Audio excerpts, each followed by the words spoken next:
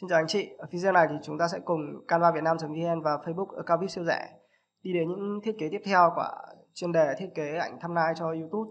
Thông qua những thiết kế này thì chúng ta một phần sẽ ôn luyện lại những cái hiệu ứng mà chúng ta đã học ở các video trước, đồng thời chúng ta sẽ củng cố thêm tư duy về thiết kế.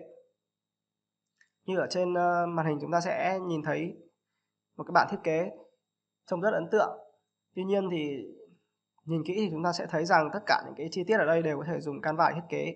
Hình cô gái viền màu trắng chúng ta đã học ở một video khác. Hình ảnh chữ với ờ, viền màu đen và màu sắc ở bên trong. Thì chúng ta cũng đã có một video riêng về hiệu ứng cho text và chúng ta thậm chí có rất nhiều cách để thiết kế những cái text như thế này. Chúng ta sẽ đi ngay vào thiết kế cái ảnh thumbnail như thế này. Chúng ta sẽ tiến hành đổi màu nền.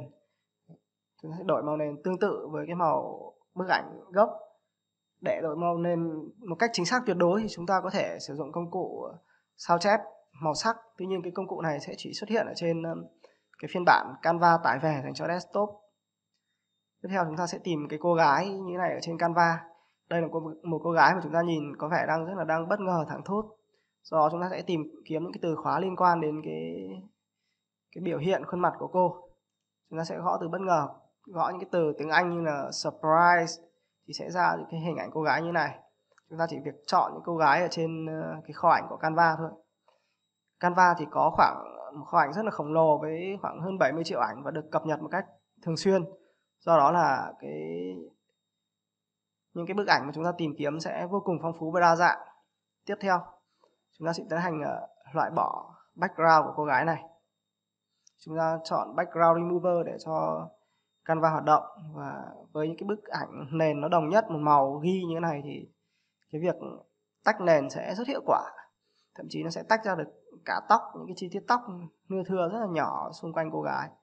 Ta cùng chờ đợi kết quả. Thế và để việc tách những cái hiệu ứng những cái sợi tóc như này thì thậm chí làm việc ở trên Photoshop chúng ta cũng phải thực hiện thông qua rất nhiều thao tác chứ không phải một thao tác mà được. Tiếp đến chúng ta sẽ tiến hành ờ, nhân đôi cô gái này lên.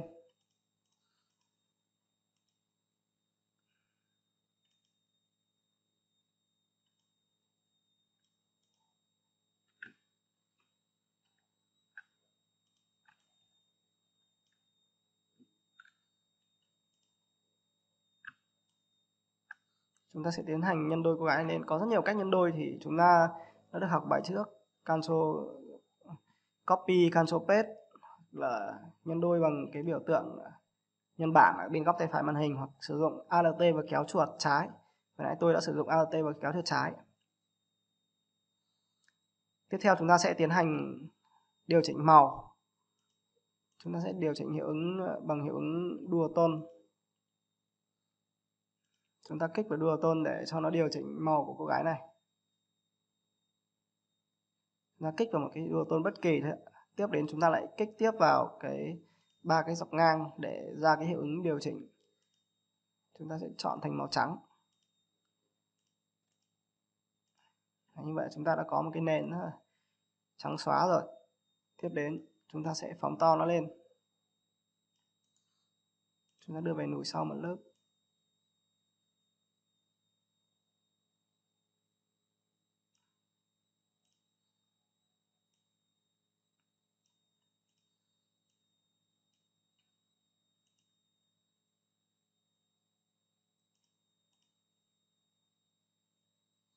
Vậy chúng ta sẽ có được một cái,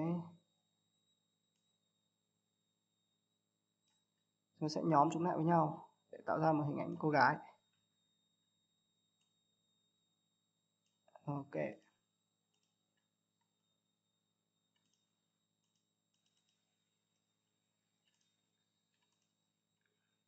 Tiếp đến chúng ta sẽ thực hiện điều chỉnh các hiệu ứng chữ. Chúng ta sẽ tạo ra các chữ như này how to make an eye catching thumbnail để thêm chữ chúng ta sẽ có rất nhiều cách thêm. Chúng ta có thể sử dụng menu text văn bản, chúng ta có thể để thêm text vào. Tuy nhiên có một cách nhanh hơn, chúng ta gõ trực tiếp phím tắt T, nó sẽ hiện thêm đoạn text vào.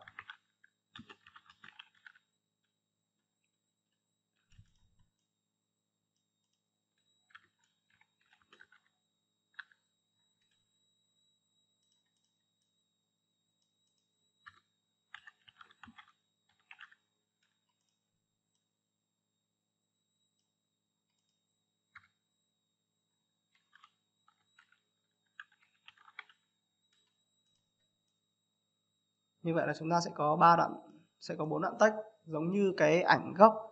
Chúng ta sẽ tiến hành chỉnh sửa nó để đảm bảo các hiệu ứng về thị giác giống như cái bức ảnh mà chúng ta đã có. Chúng ta sẽ chọn phông chữ dày hơn. Chúng ta sẽ chọn các phông chữ dày hơn.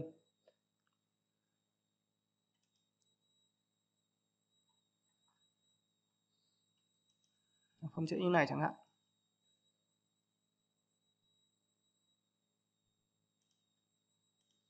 Chúng ta sẽ tiến hành uh, copy cái định dạng chữ này vào những cái dòng khác. Đấy.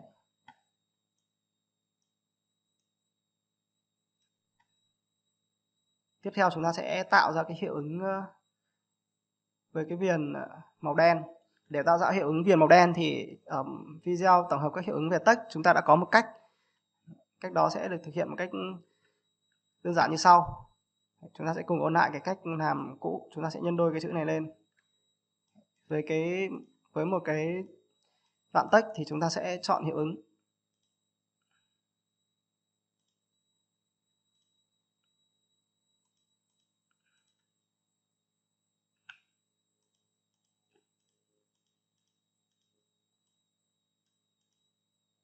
Đối với một đoạn text thì chúng ta sẽ chọn cái hiệu ứng và chúng ta sẽ cho hiệu ứng rỗng. Đấy, còn với một cái đoạn chúng ta sẽ phóng to lên một chút.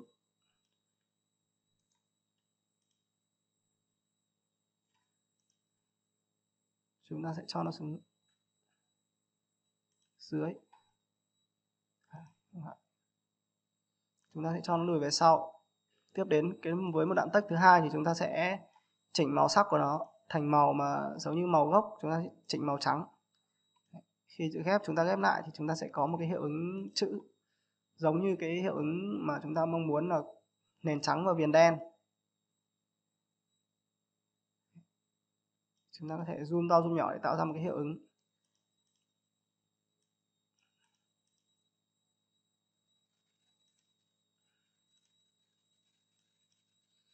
Tuy nhiên thì đây chỉ là một trong những cái cách mà chúng ta làm.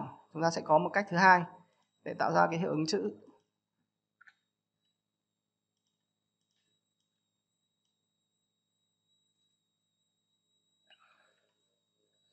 Cách thứ hai chúng ta sẽ vào hiệu ứng, chúng ta sẽ chọn đổ bóng.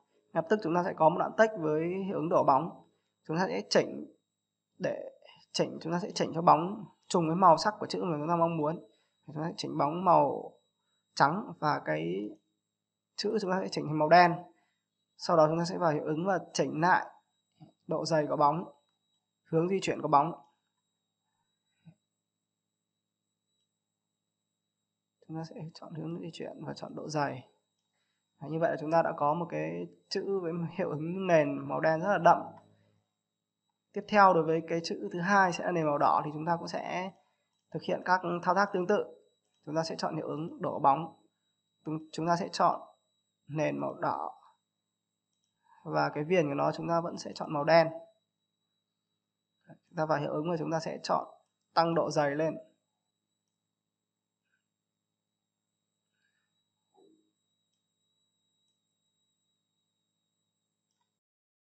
Truy cập canvavietnam.vn, click gửi tin nhắn hoặc truy cập fanpage facebook.com sượt cao siêu rẻ. Đây là fanpage chính thức của canvavietnam.vn. Việc mua tài khoản tại fanpage chính thức sẽ được bảo hành suốt quá trình sử dụng và nhận được sự hỗ trợ của đội ngũ Canva.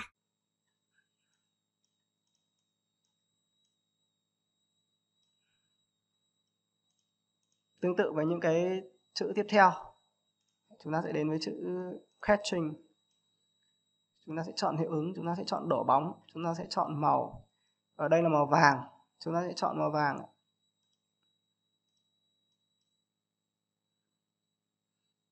Chúng ta sẽ tăng độ dày của bóng lên và giảm độ di chuyển xuống. Tiếp, từ thumbnail chúng ta sẽ lại có một cái chữ màu trắng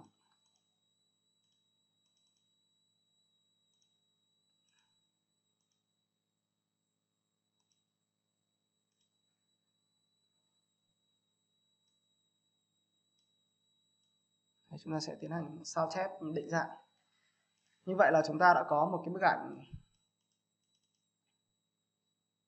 tương đối so với cái bức ảnh gốc mà chúng ta tạo ra. Đảm bảo những cái hiệu ứng về thị giác và gây ấn tượng mạnh mẽ cho người xem. Buộc người ta sẽ phải kích vào cái video của chúng ta. Tiếp đến chúng ta sẽ đến với cái thiết kế thumbnail thứ hai. Cái thumbnail này chúng ta sẽ vẫn có hình ảnh một chàng trai với cái viền màu trắng như thế này. Thì chúng ta sẽ thiết kế giống hệt cái ảnh cô gái này thôi chúng ta có thể chỉnh chu hơn bằng cách căn chỉnh cái viền làm sao cho nó cân đối. Ở đây tôi đang căn nó hơi bị lệch một chút. Cái thứ hai chúng ta sẽ chú trọng hơn đến cái phần tách. Cái phần tách ở đây có một phần rất đặc biệt. Cái nền màu trắng ở đằng sau nó, chúng ta hoàn toàn có thể thêm một cái ô vuông. Và cái tách ở đây nó sẽ màu đen và có một cái khung, như kiểu một cái khung xương màu trắng ấy. chúng ta sẽ tiến hành tạo cái tách như thế này. Chúng ta sẽ đổi màu nền.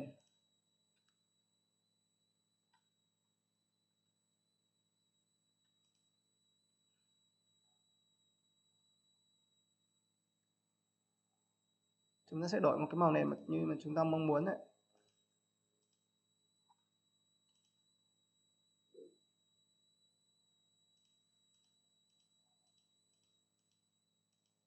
rồi như này đi ạ.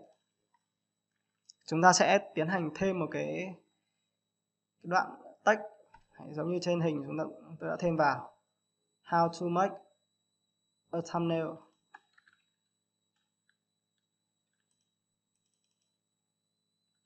Chúng ta sẽ làm lại với từ how.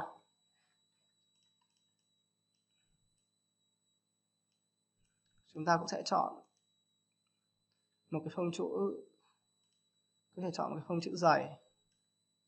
Ở đây chúng tôi đang chọn phông ờ, Notosan tiếp đến chúng ta sẽ sẽ vào hiệu ứng và chúng ta vẫn sẽ sử dụng hiệu ứng đổ bóng. Tuy nhiên ở hiệu ứng đổ bóng này thì chúng ta sẽ điều chỉnh những cái thanh ở đây nó sẽ khác một chút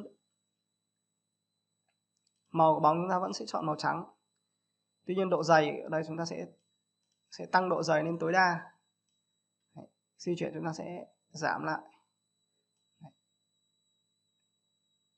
và hướng đây chúng ta sẽ chọn là không và chúng ta sẽ không bôi đậm chúng ta sẽ bỏ bôi đậm đi thì ngay lập tức nó sẽ tạo ra một cái đoạn text mang cái hiệu ứng, giống với cái hiệu ứng mà ở trên bản thiết kế của chúng ta nhìn thấy. Rồi cái khung màu trắng bên trong và nhìn nó sẽ hiệu ứng nó rất là đẹp. Sau khi tạo ra cái đoạn text như thế này thì chúng ta hoàn toàn có thể copy định dạng sang những cái đoạn text khác, how to make.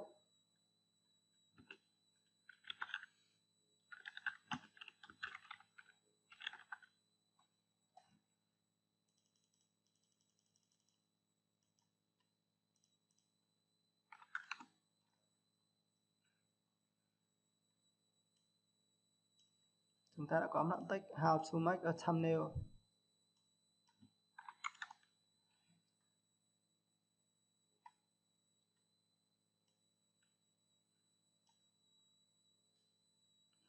Rất giống với cái đoạn chữ gốc đúng không? Chúng ta thử chọn những cái phông chữ khác xem. Đấy, những cái phông chữ khác thì nó sẽ không những cái phông chữ dày thì nó sẽ không thể được như cái ảnh gốc được chúng ta có thể chọn rất nhiều những cái phông chữ làm sao đảm bảo những cái hiệu ứng đẹp nhất thôi. Chúng ta sẽ chọn phông uh, Notosan. Tiếp đến chúng ta sẽ insert một cái khung màu trắng. Insert cái khung này thì rất đơn giản thôi chúng ta sẽ vào thành phần. Chúng ta sẽ kéo lên trên và chúng ta sẽ chọn định dạng hình dạng này. Chúng ta sẽ thêm cái khung này vào. Cái khung này sẽ màu trắng để làm nổi bật lên cái bức ảnh của chúng ta. Ok, như vậy là chúng ta đã có một cái bức ảnh giống rất giống với cái bức ảnh gốc rồi. Còn hình ảnh chàng trai như thế này thì chúng ta thêm vào một cách rất đơn giản thôi. Tôi sẽ không nói lại ở cái video này. Tiếp đến chúng ta sẽ đến một cái thiết kế thứ ba. Một cái thiết kế có hình ảnh chàng trai và đang chỉ lên một cái bảng. Cái bảng, cái chàng trai này chúng ta sẽ search ở trên ờ, mục thành phần. Sẽ có rất nhiều những hình ảnh tương tự cái bảng này thì chúng ta chỉ cần thêm những cái khung vào đây thôi ạ. Cái khung YouTube này trên Canva cũng có rất nhiều. Chúng ta sẽ làm cái này rất đơn giản. Chúng ta sẽ vào thành phần, chúng ta sẽ gõ từ men chúng ta sẽ có rất nhiều những cái hình ảnh. Chúng ta sẽ tìm kiếm sao có cho một cái hình ảnh phù hợp hoặc là tương đối thôi. Ở đây đang có hình ảnh một chàng trai chỉ tay lên bảng và cái hình ảnh này có vẻ nó còn đẹp hơn cái hình ảnh à, ở trên cái ảnh thumbnail mà chúng ta tải trên mạng kia.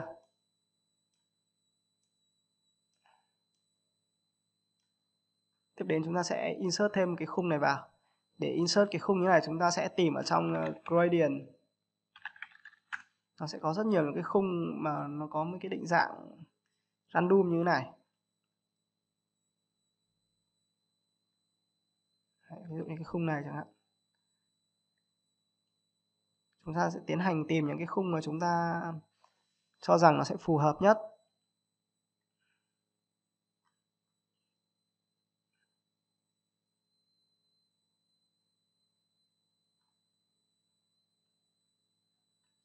Đây, chúng ta sẽ chọn một cái khung như thế này. Chúng ta sẽ chỉnh cho nó thành màu màu nâu đi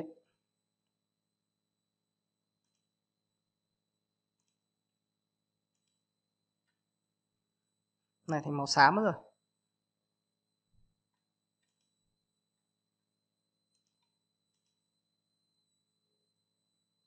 Và chúng ta sẽ sử dụng một cái tương đối thôi không nhất thiết phải giống, tuyệt đối cái bức ảnh mà chúng ta đã tạo ra.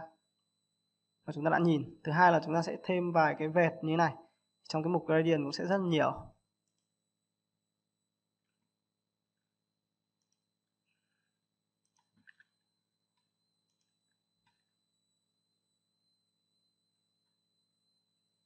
Ok rất nhiều những cái xám xám như thế.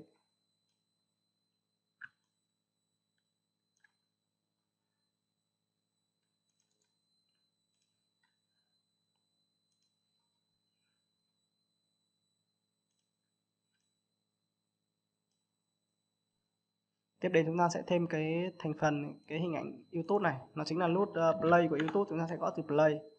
Nó sẽ ra rất nhiều.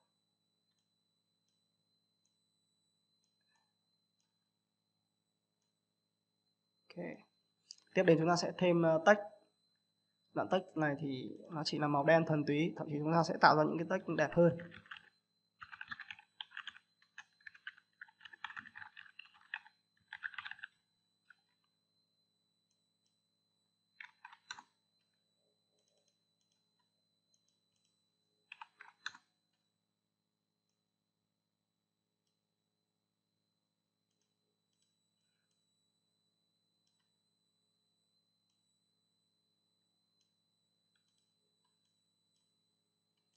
Như vậy là chúng ta đã hoàn thành xong một cái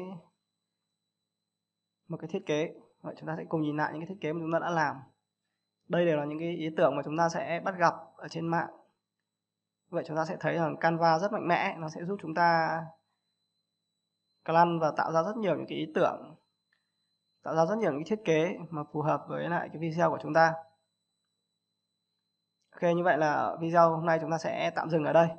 Chúng ta sẽ đến với thiết kế thumbnail tốt ở một video nữa. Ngoài ra thì chúng ta sẽ còn rất nhiều những cái video hướng dẫn về tạo quảng cáo, cũng như là những cái thủ thuật mà chưa từng được chia sẻ. Cái video tiếp theo sẽ dần dần hé mở ra những cái thủ thuật đó và chắc chắn là sẽ chỉ có những thành viên mà đã có mặt ở đây chúng ta mới được xem cái video này. Xin cảm ơn anh chị đã ủng hộ. Xin chào và hẹn gặp lại.